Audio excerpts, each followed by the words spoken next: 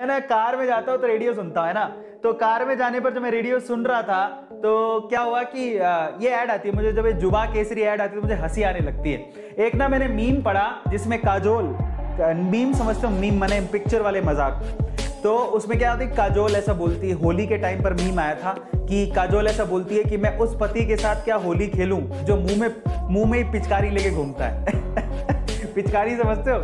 जुबा केसरी मतलब गुटखा खाएगा तो ऐसे करते हैं, देखा होगा, जो गुटखा खाते रहते सारा दिन पान की पीक होती है उनके मुँह में। ऐसे करते रहते तो काजोल बोलती है कि मैं मैं उस पति के साथ क्या खेलूं? नहीं, जिसके जिसके मुँह में ही जुबा केसरी है। जुबा केसरी की पिचकारी है। तो मुझे बुरा इस बात का लगता है मतलब बुरा तो क्या लगता है, उनकी मर्ज़ी है, पर जब रेडियो चलाता हूँ तो मुझे अजीब सा लगने लगता है। अभी ना ऐसे अजय देवगन बोलता है मेरी है जुबा केसरी। ठीक है, ऐसे बोलता है। मेरी है जुबा केसरी। इतने में शाहरुख खान आता है। अब तो मेरी भी है जुबा केसरी। हाथ दोगे भाई। है ना? हीरो लोग पैसों के लिए क्या क्या करते हैं वास्तव में? पहले, अभी मतलब उसका ये है कि पहले अजय देवगन ब्रांड एम्बेसडर था, ठीक है? जुबा केसरी का। आजकल कौन हो गया आजकल शाहरुख खान भी ब्रांड एम्बेसडर हो गया है। ना?